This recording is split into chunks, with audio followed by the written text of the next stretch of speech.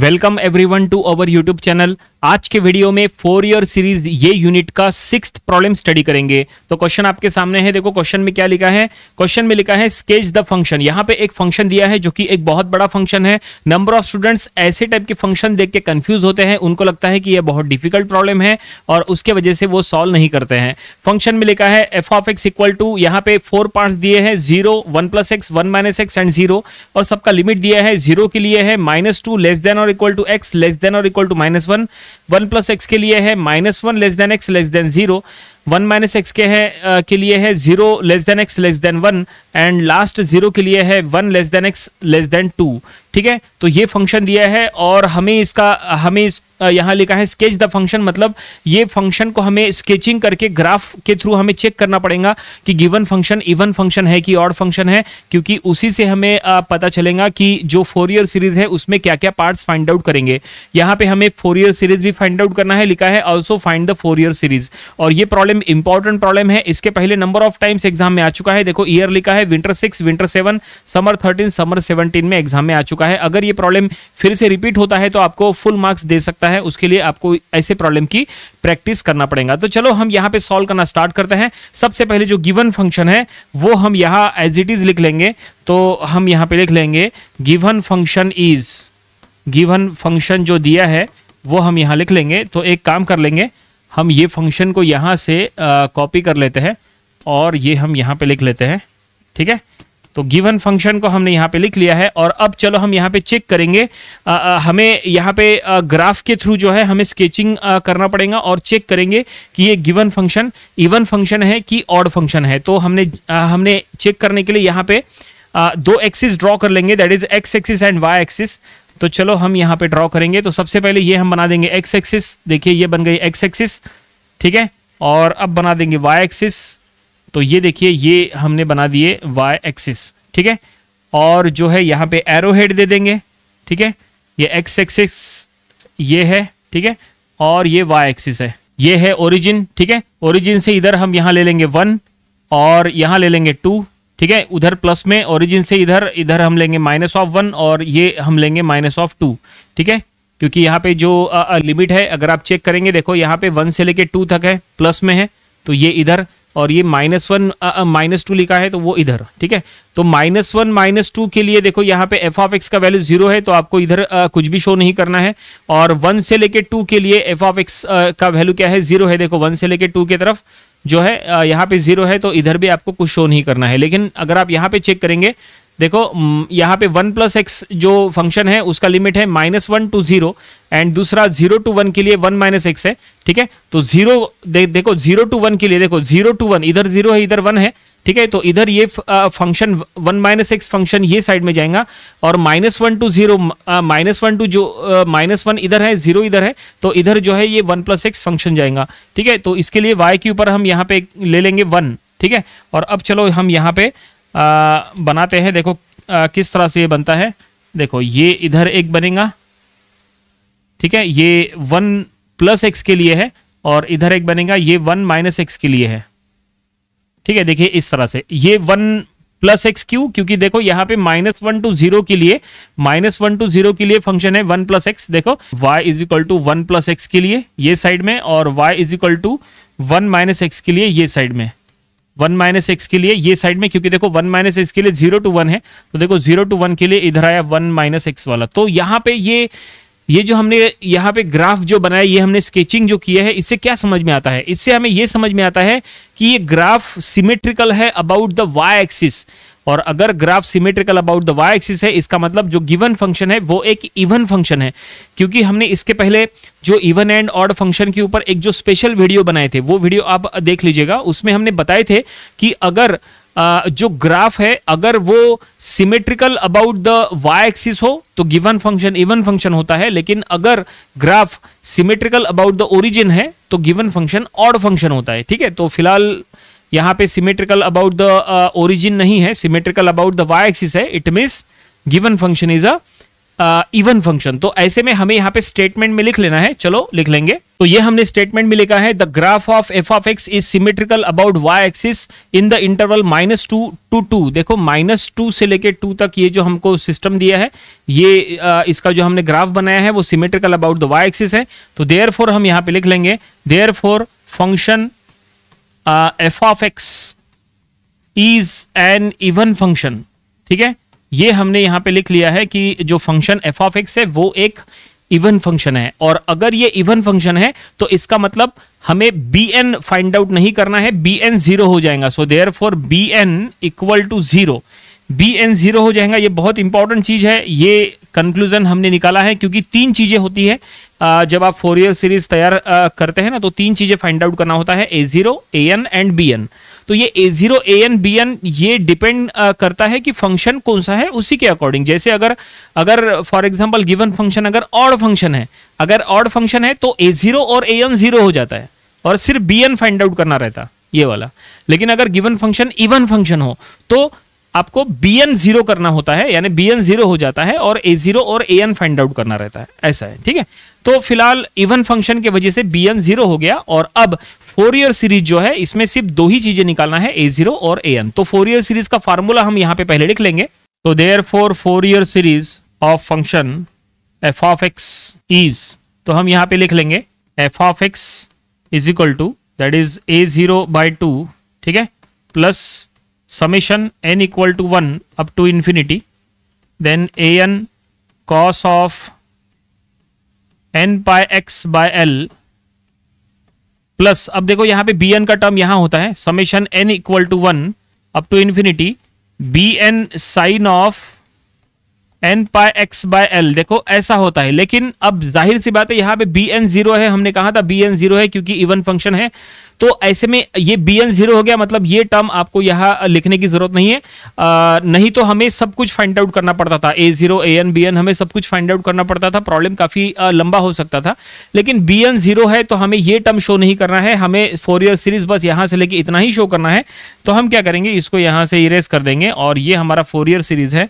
और अब हमें ये फोर ईयर सीरीज़ में ए ज़ीरो और ए एन पुट करना है। तब ये सीरीज़ हम पूरी कर लेंगे, इसको हम फ़िलहाल इक्वेशन नंबर वन देंगे, क्योंकि हमारे पास ए ज़ीरो और ए एन नहीं है। तो चलो अब बारी बारी one by one a zero a n find out करो। पहले ए ज़ीरो निकालो, फिर ए एन निकालो, और फिर इसमें पुट करो। तब ये फोर ईयर सीरीज़ कंप्लीट हो जाएँगी, जो यहाँ पे फाइंड आउट करने के लिए कहा है, और प्रॉब्लम पूरा हो जाएगा। ठीक है, समझ में आया यहाँ तक? तो अब हम यहाँ पे ए ज़ीरो का फार्मूला लिखते हैं। सो नाउ ए ज़ीरो सबसे पहले हमें ए ज़ीरो फाइंड आउट करना है। तो ए ज़ीरो का स्टैंडर्ड फार्मूला हम यहाँ पे पहले लिख लेते हैं।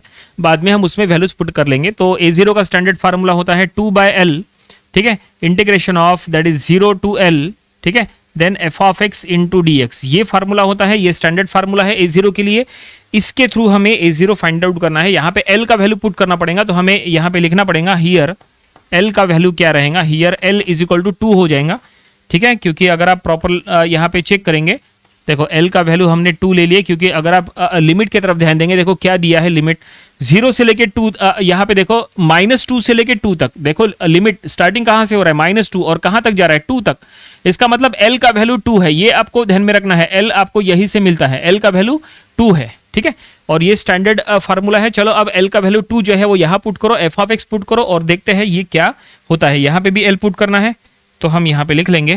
That is two by l l यानी two so that is two by two integration from zero to two then f of x into d x ठीक है? इस तरह से ये हमने पुट किए। अब अब इसके बाद क्या करेंगे? अब यहाँ पे जो है, ये इंटीग्रेशन को स्प्लिट करो, क्योंकि एफ़ ऑफ़ एक्स अगर आप प्रॉपरली चेक करेंगे लिमिट देखो ज़ीरो से लेके टू तक है ये इंपॉर्टेंट है नंबर ऑफ़ स्टूडेंट्स यहाँ पे गलती कर सकते हैं गलती नहीं होनी चाहिए। देखो लिमिट ज़ीरो से टू है तो ज़ीरो से टू के में ज़ीरो से टू के बीच में कि, कितने फ़ंक्शन आते हैं चेक करो।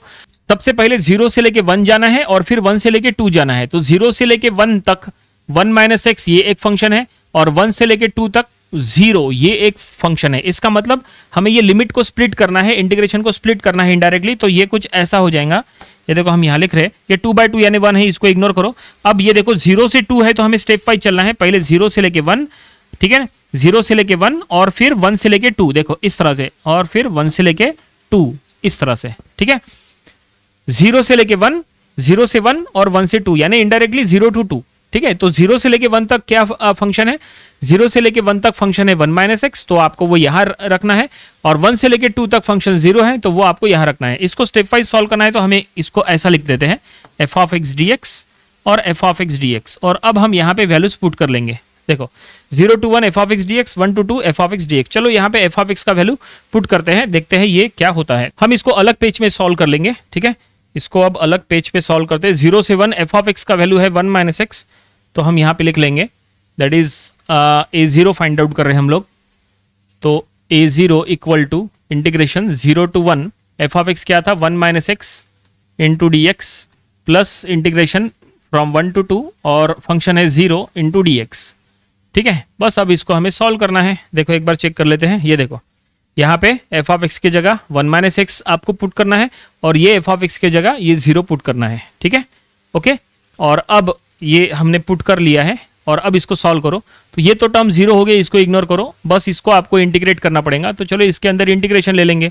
सो so, यहाँ पे वन माइनस एक्स का इंटीग्रेशन तो वन का इंटीग्रेशन हो जाएगा एक्स और एक्स का इंटीग्रेशन हो जाएगा एक्स स्क्र बाय टू और यहाँ पे लिमिट लगा दो। लिमिट है फ्रॉम ज़ीरो टू वन और अब चलो लिमिट यहाँ पे पुट करो। ठीक है?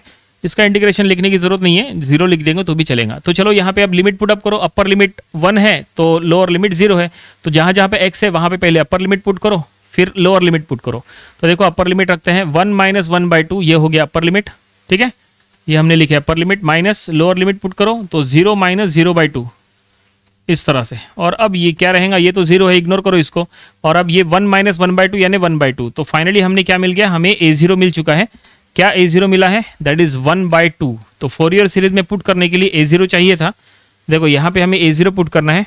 तो ए ज़ीरो हमने फाइंड आउट कर लिए, क्या आया? वन बाई टू और अब क्या हमें फाइंड आउट करना है? अब हमें, चलो, अब ए एन फाइंड आउट करना है। चलो ए एन का फार्मूला लिखते हैं। ठीक है? बिल्कुल स्टेप वाइज चलेंगे। आप जल्दबाजी करने की ज़रूरत नहीं है।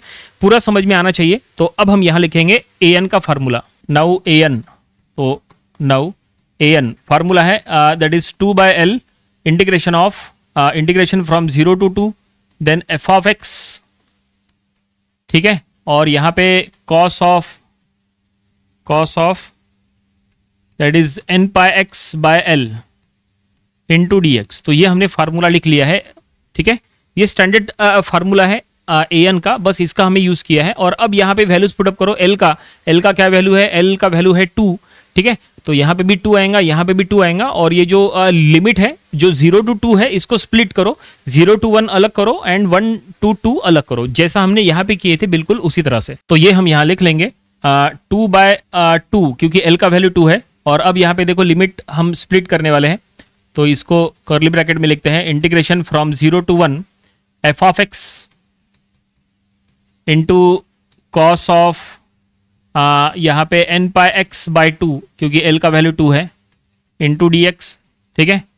Plus integration from one to two into again f of x cos of n pi x by two into d x ठीक है?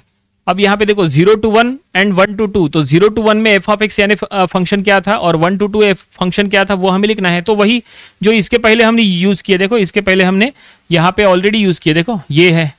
और ये है, ठीक है ना? है? ज़ीरो टू वन के लिए वन माइनस एक्स है एंड वन टू टू के लिए ज़ीरो है। एक बार चेक कर लेते हैं, ये देखिए। ज़ीरो टू वन के लिए फ़ंक्शन है one minus x and one to two के लिए फ़ंक्शन है ज़ीरो बस उसका हमें यहाँ पे यूज़ करना है, यहाँ पे वन माइनस एक्स रखो, वहाँ ज़ीरो रखो। तो देखो ये क्या होता है, ठीक है? ये तो ये टू बाई टू अब लिखने की ज़रूरत नहीं है तो ये है integration from zero to one और ये one minus x into cos of n pi x by two into d x और ये तो पूरा ज़ीरो हो जाएगा क्योंकि एफ़ ऑफ़ एक्स ज़ीरो है तो इधर ज़ीरो लिखो, कोई दिक्कत नहीं है। और अब हमें इसको इंटीग्रेट करना है। अब इसको इंटीग्रेट करने के लिए आपको जो है सक्सेसिव इंटीग्रेशन बाय पार्ट्स का फार्मूला पता होना चाहिए। अगर आप यहाँ पे सक्सेसिव इंटीग्रेशन बाय पार्ट्स नहीं यूज़ करोगे only integration by parts use करोगे तो भी चलता है। आप चाहे तो स्टेप वाइज सॉल्व करो, कोई दिक्कत नहीं है। ठीक है? चलो, हम यहाँ पे यूज़ करेंगे। इसमें फ़र्स्ट टर्म और सेकंड टर्म क्या है? तो ये है फ़र्स्ट टर्म ठीक है? और ये रहेगा सेकंड टर्म तो अब चलो यहाँ पे इंटीग्रेशन बाय पार्ट्स हम यूज़ करेंगे। बिल्कुल स्टेप वाइज सॉल्व करेंगे, जल्दबाजी करने की ज़रूरत नहीं है, क्योंकि यहाँ पे गलती हुई तो पूरा प्रॉब्लम आगे रॉन्ग हो जाएगा। तो ये गलती यहाँ पे जनरली होती है, क्योंकि इंटीग्रेशन बाय पार्ट्स है ना, इसीलिए। तो ये फ़र्स्ट टर्म ये सेकंड टर्म फ़र्स्ट टर्म है वन माइनस एक्स और सेकंड टर्म है कॉस ऑफ़ ब्रैकेट ठीक है? तो चलो यहाँ पे हम ए एन निकालना शुरू करते हैं थोड़ा सा लंबा जाएगा, इसलिए हम इधर से लिखते हैं, ठीक है? So a n is equal to तो सबसे पहले फ़र्स्ट टर्म फ़र्स्ट टर्म है one minus x into integration of second तो ये सेकंड टर्म का इंटीग्रेशन मतलब कॉस का इंटीग्रेशन तो कॉस का इंटीग्रेशन होता है sine of sine of n pi x by two और डिवाइडेड बाय यहाँ पे यहाँ पे x का कोइफिशिएंट क्या है? x का coefficient n pi by two वो नीचे में आएगा that is n pi by two ये सबसे इंपॉर्टेंट है, यहाँ पे गलती नहीं होनी चाहिए। x का coefficient n pi by two वो डिनोमिनेटर में आ गया। जैसे आपको पता है, cos 2x cos 2x का इंटीग्रेशन क्या होता है? Sine two x by two sine two x by two तो x का कोइफिशिएंट टू है ना तो टू वो नीचे में आया, बिल्कुल उसी तरह से। यहाँ पे लिमिट लगा देंगे फ्रॉम ज़ीरो टू वन ठीक है? इसको एक अलग ले लेंगे। तो first term into integration of second अब माइनस इंटीग्रेशन इंटीग्रेशन के बाद आपको यहाँ लिखना है differentiation of first term first term का डिफ्रेंशिएशन तो वन माइनस एक्स का डिफ्रेंशिएशन हो जाएगा ज़ीरो माइनस वन तो हम यहाँ लिख लेंगे ज़ीरो माइनस वन ठीक है? Into integration of second term ये सेकंड टर्म का इंटीग्रेशन तो ये कॉस का इंटीग्रेशन फिर से साइन ऑफ़ यहाँ पे n pi x by two divided by यहाँ पे again n pi by two जैसे इसके पहले हुआ, बिल्कुल उसी तरह से। ठीक है? और यहाँ पे इंटू डी एक्स ठीक है? इस तरह से। एक और बार इधर इंटीग्रेशन होगा ओके ओके ये first term into integration of second minus integration differentiation of first into integration of second ये हमने इंटीग्रेशन बाय पार्ट्स का फार्मूला यूज़ किए। ठीक है? अब बस ये स्टेप को सॉल्व करो, फिर जो है अपर लिमिट लोअर लिमिट जो है वो पुट करो। फ़िलहाल ये जो टर्म है, ये पूरा एज इट इज़ लिख लेंगे।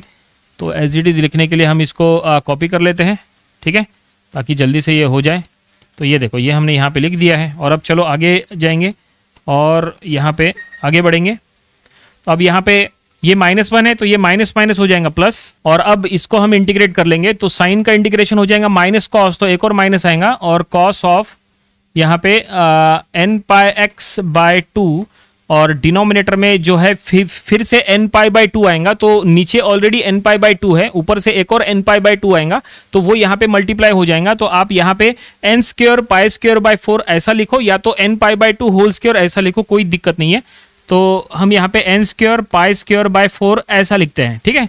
चलेगा, और अब यहाँ पे लिमिट लगा देंगे फ्रॉम ज़ीरो टू वन और अब देखो, हमने पूरी तरह से इंटीग्रेट कर लिया है, लेकिन अभी तक ये कंप्लीट नहीं हुआ, क्योंकि अब हमें यहाँ पे लिमिट पुट अप करना है। अपर लिमिट वन है लोअर लिमिट ज़ीरो है, यहाँ पे भी पुट करना है, यहाँ पे भी पुट करना है। और ये लिमिट एक्स की है मतलब जहाँ जहाँ पे एक्स है, वहाँ पे पहले अपर लिमिट वन आएगा, फिर वहाँ पे लोअर लिमिट ज़ीरो आएगा। तो चलो, अब हम यहाँ पे लिमिट पुट कर लेंगे। तो यहाँ पे हम पहले पुट कर लेंगे तो ये काफ़ी लंबा जाएगा, ठीक है? एक मिनट ये काफ़ी लंबा जाएगा, इसलिए जो है, हम थोड़ा पहले से लिखते हैं उसको, ठीक है? तो यहाँ से हम लिखते हैं, ठीक है? तो अपर लिमिट हम यहाँ पे, जहाँ जहाँ पे एक्स है, वहाँ पे वन रखो, देखो, यहाँ पे वन आएगा, यहाँ पे वन आएगा तो ये हो जाएगा one minus one then sine of यहाँ पे एन पाई बाई टू और डिनोमिनेटर में एन पाई बाई टू ठीक है? बाद में ये टर्म ज़ीरो हो जाएगा तो ये हो गया by using upper limit minus अब यही बाय यूजिंग लोअर लिमिट हमें लिखना है तो वन माइनस ज़ीरो ठीक है? देन यहाँ पे साइन ऑफ़ यहाँ पे एक्स की वैल्यू ज़ीरो पुट कर देंगे तो ये zero by n pi by two इस तरह से ये देखो हमने अपर लिमिट और लोअर लिमिट दोनों यहाँ पे पुटअप कर लिए हैं upper limit minus lower limit और अब यहाँ पे भी पुट करो तो ये माइनस जो है, आप चाहे तो पहले बाहर ले लो और अब आप यहाँ पे upper limit lower limit put करो. तो हम यहाँ पे पुट कर लेंगे. अपर लिमिट हम यहाँ रखेंगे cos of n pi by two ठीक है? Cos of n pi by two by n square pi square by four ठीक है? ये हो गया अपर लिमिट और अब यहाँ पे लोअर लिमिट पुटअप करेंगे minus cos of zero by n square pi square by four तो ये इस तरह से हमने यहाँ पे अपर लिमिट लोअर लिमिट पूरे इसमें पुट कर लिया है। अब इसको सॉल्व करो। जब तक ये सॉल्व हो रहा है, इसको सॉल्व करो। इसके थ्रू एक फिक्स वैल्यू हमें मिल जाएँगी और फिर वो जो वैल्यू रहेंगी, वही हमारा ए एन रहेगा, फिर उसका हम यूज़ करने वाले हैं। अब यहाँ पे आगे बढ़ेंगे, थोड़ा सा इसको ऊपर कर लेते हैं ताकि ये पूरा हो जाए। चलो देखते हैं ये क्या होगा। तो यहाँ पे देखो ये वन माइनस वन ये ज़ीरो है मतलब ये पूरा टर्म ज़ीरो माइनस। यहाँ पे देखो sine zero sine zero zero होता है तो मतलब ये भी पूरा टर्म ज़ीरो तो ये पूरी तरह से ज़ीरो हो चुका है। उसके बाद ये माइनस यहाँ पे, अब यहाँ पे दोनों का देखो डिनोमिनेटर सेम है तो एक काम करो, डिनोमिनेटर कॉमन ले लो यहाँ पे। तो डिनोमिनेटर कॉमन लेंगे तो वन बाय, ये हम यहाँ लिख लेंगे n square pi square by four, ठीक है? डिनोमिनेटर कॉमन ले लिए और यहाँ पे न्यूमिनेटर में बचा कॉस ऑफ़ क्या बचा? एन पाई बाय टू और ये कॉस ज़ीरो कॉस ज़ीरो यानी वन होता है तो इस तरह से cos zero one and sine zero zero ये ध्यान में रखना। अब ये टर्म यहाँ पे इग्नोर करो, ये फोर को ऊपर शिफ्ट करो तो ये हम ऐसा लिख लेंगे minus four by n square pi square ठीक है? और ये एज इट इज़ रखो, यहाँ पे cos of n pi by two minus of one और अब हम इसको आगे बढ़ाएँगे, देखते हैं ये कहाँ तक और सॉल्व होगा। तो ये माइनस से जो है, ये ये माइनस से यहाँ मल्टीप्लाई कर लो तो ये हम लिख लेंगे four by n square pi square minus से मल्टीप्लाई कर लेंगे तो ये ऐसा हो जाएगा one minus cos of n pi by two, ये ऐसा हो जाएगा, ठीक है? अब ये one minus cos of n pi by two, यहाँ पे फार्मूला लगाओ वन माइनस कॉस थीटा का। फार्मूला क्या है? चलो फार्मूला यहाँ लिख के देते हैं। अगर आपके पास फार्मूला नहीं लिखा है, तुरंत अपने नोटबुक में लिख के रखो। देखो, ऐसा, one minus cos of theta का फार्मूला, ये होता है two sine square theta by two. ये फार्मूला होता है, उसका हम यहाँ पे यूज़ करेंगे। ये formula one minus cos theta का formula that is two sine के और थीटा बाई टू तो ये जो ब्रैकेट है, ये एज अ थीटा है, ऐसा मान के चलो वन माइनस कॉस थीटा ऐसा। तो देखो, वो फार्मूला अगर हम यूज़ करेंगे तो ये क्या बनता है?